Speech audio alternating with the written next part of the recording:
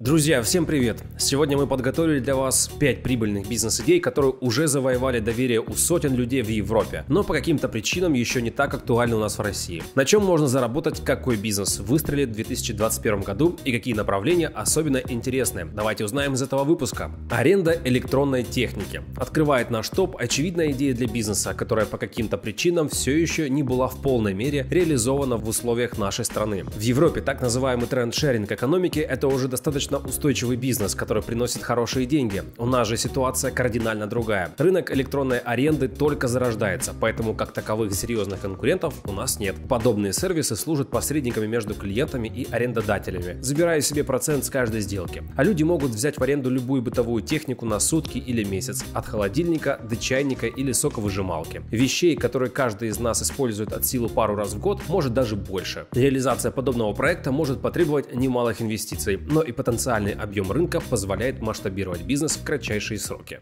Магазин дизайнерских стульев. В 2021 году люди все больше денег инвестируют в недвижимость и обустройство своего жилья. Если верить Google Trends, объем запросов на покупку мебели и декора растет из года в год на стабильные 3-5%. Из всего многообразия товаров самой интересной категорией является продажа стульев. Более 500 тысяч человек ежедневно покупают их к себе в дома, квартиры и рестораны. Причем этот товар, который редко продается поштучно. Как правило, люди заказывают минимум по 3-4 стула для каждого помещения. Спрос рождает предложение. За рубежом подобные магазины с монопродуктом уже зарекомендовали себя как рабочая модель, которая приносит хорошие деньги. У нас в России в данном направлении работает бренд Канделябра. Это крупнейший маркетплейс с более чем 100 тысяч товаров от тысяч поставщиков. И именно сейчас у вас есть возможность стать партнером бренда. Преимуществом такого магазина является то, что он не потребует от вас миллионных инвестиций. И при этом в некоторых городах может приносить до 150 тысяч чистой прибыли ежемесячно. Кроме продажи стульев, вы будете зарабатывать процент от всех онлайн-заказов с маркетплейса в вашей точке и продажи сопутствующих товаров. Это простой бизнес, который идеально подойдет для старта. А если вы хотите открыть магазин под брендом Канделябра в своем городе, переходите по ссылке в описании и оставляйте заявку на сайте. Кафе Джелатори.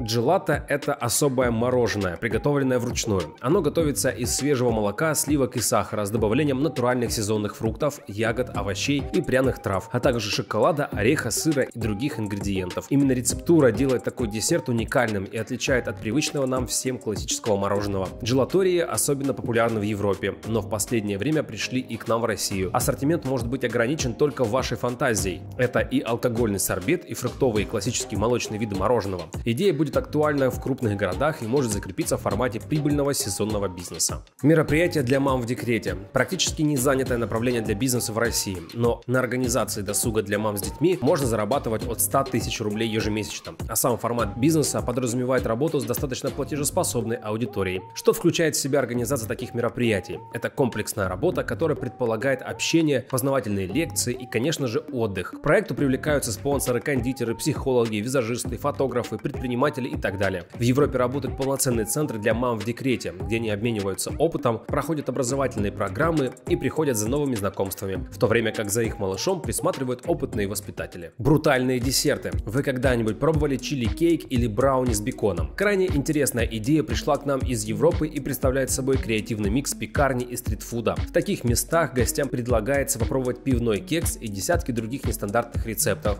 А концепция заведения строится по аналогии с женскими кофейнями, но в брутальном формате. Для запуска хватит 300 тысяч и при наличии проходного места и интересного интерьера внутри реально выйти на 150-200 тысяч чистыми уже через пару месяцев. Следует тщательно проработать рецептуру и подумать над позиционированием и оформлением заведения. На этом сегодня все. По ссылкам на экране вы можете посмотреть наши другие выпуски. С вами был канал Топ Топ. Увидимся на следующей неделе. Всем пока.